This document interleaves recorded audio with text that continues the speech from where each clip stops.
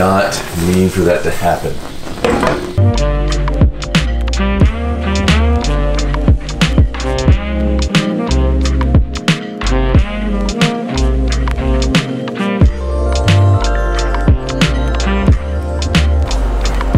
Really, really need a haircut. What's up, y'all? Welcome back to the channel. I'm so, so glad you can join me today because today is a very special edition. I'm gonna be interviewing a female that I work with. Now, the reason for this video, okay, she's not just any female. She's a co-worker of mine and she's a Master at Arms second class in the Navy. So she's gonna give you her insight and her perspective about being a female in the military. Stay tuned.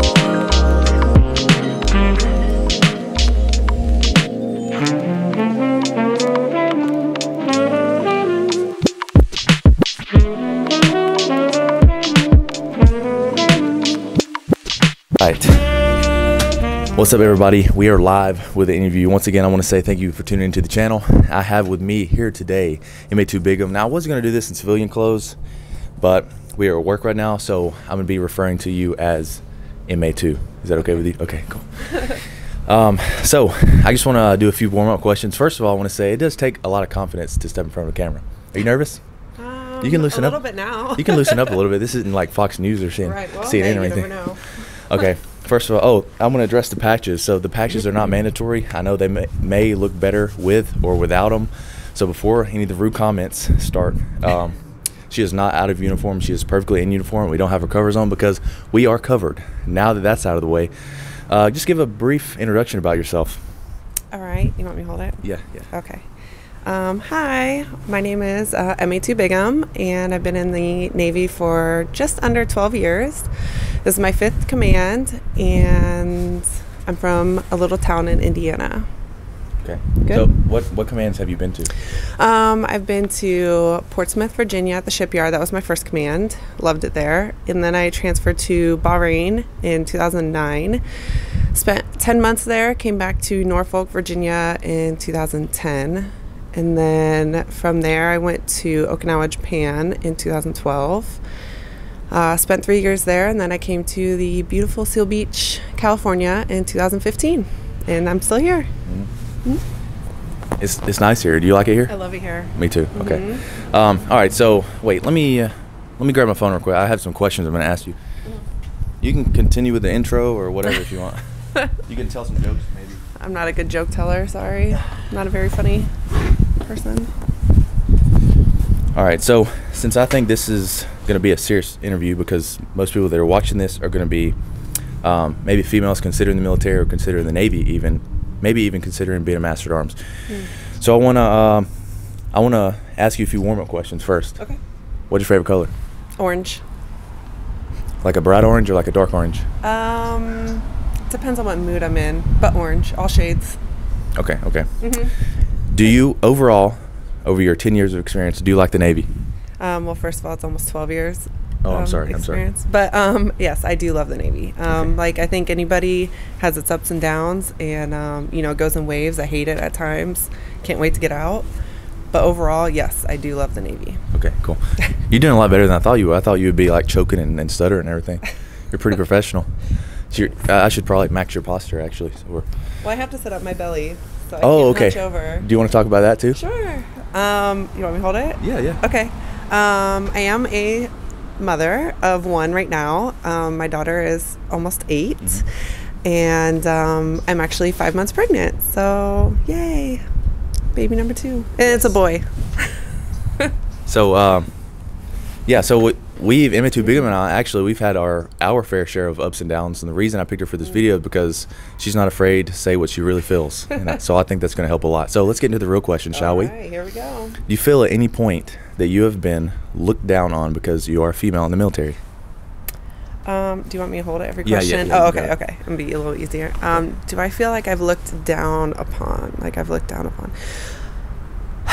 I don't feel that way. No. Um, I feel like I've been very fortunate, very lucky to have great commands, um, great leadership, and I'm not just saying that just to say it. Like I really have gotten lucky in that aspect, and I don't feel like I've been um, looked down upon. I feel like I've um, really been treated as an equal. And I think a lot of that has to do with um, my attitude and my outlook on life overall and um, not wanting pity from anybody just because I'm a female. Like, no, I, I joined the Navy and I am just as equal as this guy over here. We do the same work.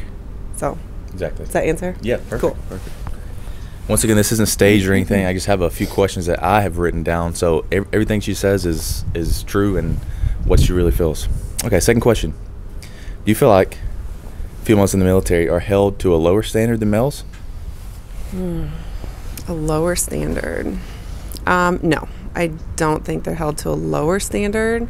If anything, I feel like um, we're looked at um, under a microscope more and we are held to higher standards because um, people expect us to fail automatically just because we're a female. Um, I maybe have a different outlook on life, um, probably because of the way I was brought up and just my overall attitude in general. But um, no, I don't. I don't think so.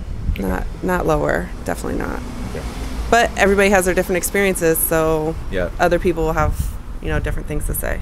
Yeah, that's something I say throughout my videos is because just because Mhm. our or the people I'm interviewing, their outlooks are the way they are, it doesn't mean yours will be the same. Right. All right. At any point in your 12 years, Almost. um, in your any point in your 12 almost 12 years of service, have you been targeted or picked on because you are a female sailor? That's a really good question. Um, yes, absolutely. But I don't look at it as a negative way. Um, the people I work with, they're my family, and we pick on each other like brothers and sisters. And I'm not just saying brothers and sisters, oh, because we're in the service. Like, no, I can pick on this guy, and you know, it has to do with tough skin. He can pick on me, and it has to do with tough skin. And um, again, I think it all has to do with how I started out in the Navy and how I was raised. Um, again, everybody has different opinions and different um, situations that they've been through, but have I been targeted? Yeah, of course. But it's never been in a malicious way. It's never been, you can't do this because you're a female. Like, no, it's just friendly banter, I guess, Yeah. in a Mm. better lack of better words. And I think we can, I think we can all attest to that, Mm-hmm. um, because I mean, of course, I've been picked on, but I don't attribute it to my my race or ethnicity or gender. You know. Mm-hmm. All right. So last question I have: Do you feel like it's harder to be in the military for females? Do I think it's harder? I'm really, Mm. really picking your brain right now. Um, no, I don't think it's harder to be a female in the military because I don't expect to be treated differently. I don't um, expect anybody to be, oh, what was her because she's a female. I'm going to put in the same amount of work, sometimes more, just because that's who I am. Um, because I am a prideful person and I want to prove myself. Um, hmm. I don't know what else to say on that one. It's You know? yeah. Uh, I, I don't. I think it's all in how you want to carry yourself and how you want to act, whether it makes it hard or not. And of course, again, every situation's different, every command is different, every leadership is different. Maybe I've just been lucky, but I feel like it's cake, and I don't think it's harder just because I'm a female. Mhm. Okay. And maybe it has to do with my rating too. I don't know. So, Okay, that's a good answer, I think. Um, now, the Navy does have a strict policy on EO, which is equal opportunity. So uh, they do take it very seriously. In my experience, they do take it very seriously. And I feel like the Navy gives a fair chance to anybody who wants to, uh, as long as you're willing to put in the work and contribute to the team. Um, do you, you want to add anything? You can think of anything. This isn't, you know. um, sure. Okay. Um, I think you know if you're watching this and oh, I'm sorry, It's okay. James, A I need to like eat it. um, I think if you're a female um, watching this, thinking about joining the military, um, and you've seen or heard other people, other females, other males talk negatively about it, don't judge or don't make your decision based on that alone. Um, you don't have to sign up for life You know, um, you sign up for a few years. You don't like it, then get out. That's fine. But at least you tried it. Don't be afraid to try. You may love it and you may stay in for 20 plus years.